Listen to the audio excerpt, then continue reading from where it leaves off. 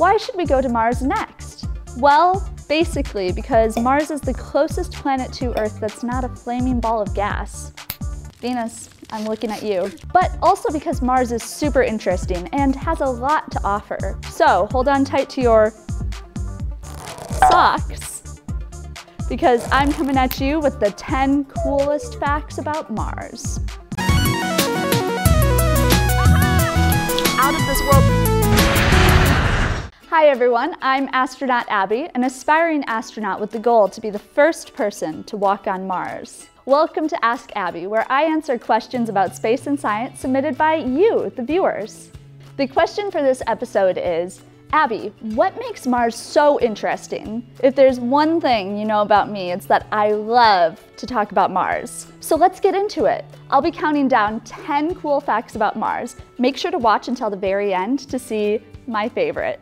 10. Mars has some of the worst dust storms in our entire solar system. They can cover the entire planet and last for weeks on end.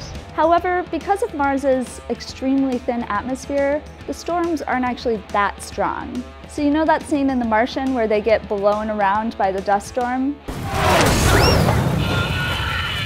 Sorry to tell you, not super accurate. But it does make for a great plot point. So why does Mars have these extreme dust storms? Well, it's mostly due to the orbital pattern that Mars follows, but there are also other factors at play, like temperature, pressure, and the size of dust particles on Mars's surface.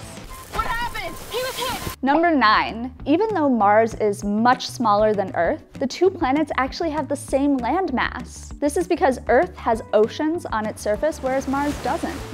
Number eight, I'm sure you've all seen sunsets here on Earth, whether it's outside or on your Instagram feed. Hey, no shame. However, sunsets on Mars are on a whole nother level, and that's because they're blue. Blue.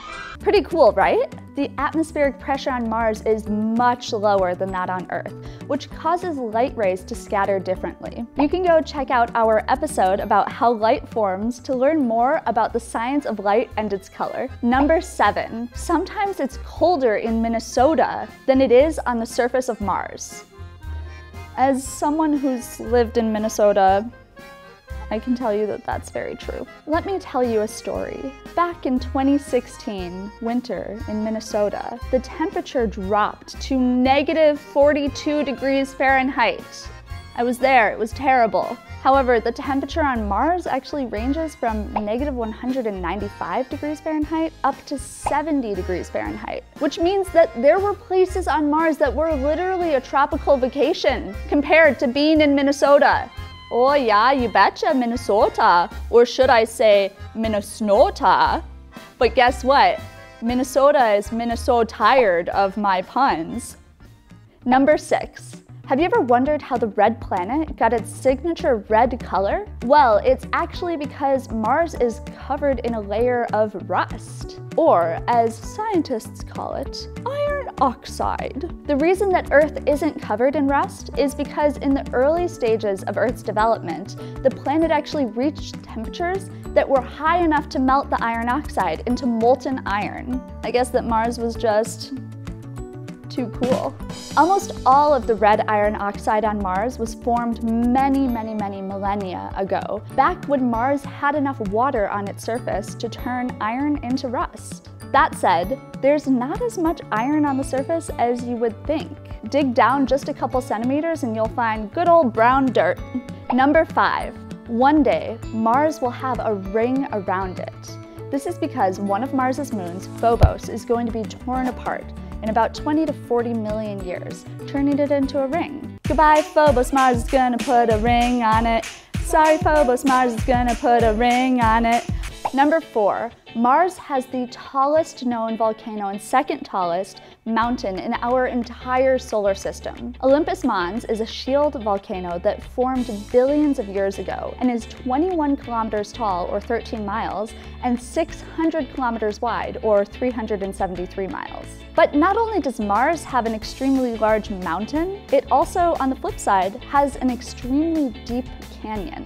Which leads us to number three. Mars is home to the Valles Marineris, which puts our Grand Canyon to shame. The Valles Marineris is five times deeper, four times wider, and 20 times longer than our Grand Canyon.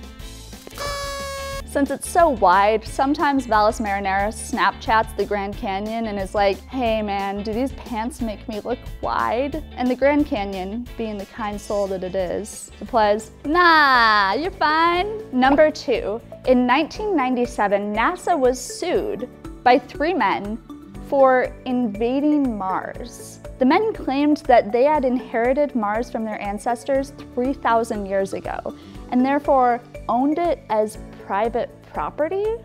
You know what? Emily, call my lawyer. I'm calling dibs on Pluto. Even if it's not a planet, I still love you, Pluto. But back to the case. To no one's surprise, they did not win ownership over Mars.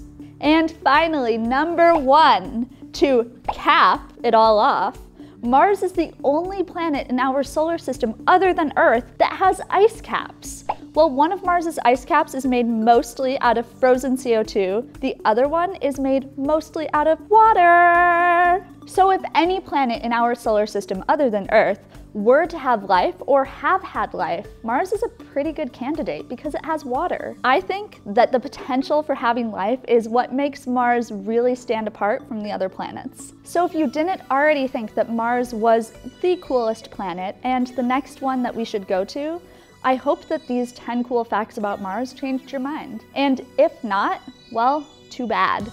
Because Mars is the closest planet that we could realistically explore. Sorry, Venus, we're not gonna come visit you. Venus.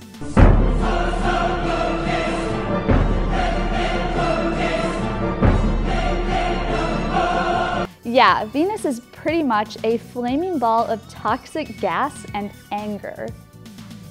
Basically, teenage angst in planet form. Sounds like my sister. Ugh. Either way, Mars is better. That's all the time we have today for Ask Abby. Thank you all so much for joining me for this episode of the Mars Generation Space and Science Show. If you enjoyed it, and I hope that you did, please go ahead and hit the thumbs up button to give us a like and make sure that you subscribe so that you see all of our exciting upcoming episodes.